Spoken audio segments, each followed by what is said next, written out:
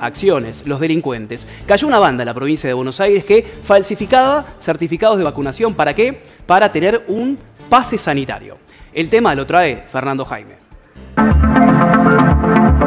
400 certificados de vacunación truchos. Esto es lo que encontró la policía bonaerense en San Miguel. En plena tercera ola y cuando empezarán a exigir el pase sanitario en el transporte público de la provincia, tres enfermeros que trabajaban en el Sanatorio Sarmiento de José Cepaz se dedicaban a vender falsos certificados de vacunación.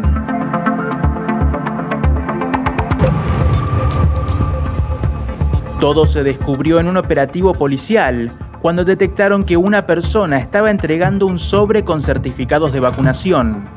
La policía encontró 60 certificados ya falsificados con datos de clientes y otros 400 certificados en blanco, sin rellenar, listos para vender.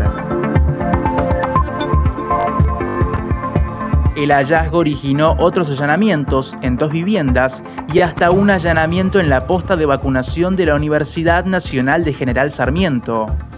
Los certificados también podían ser usados como pase sanitario y la banda los vendía mediante WhatsApp.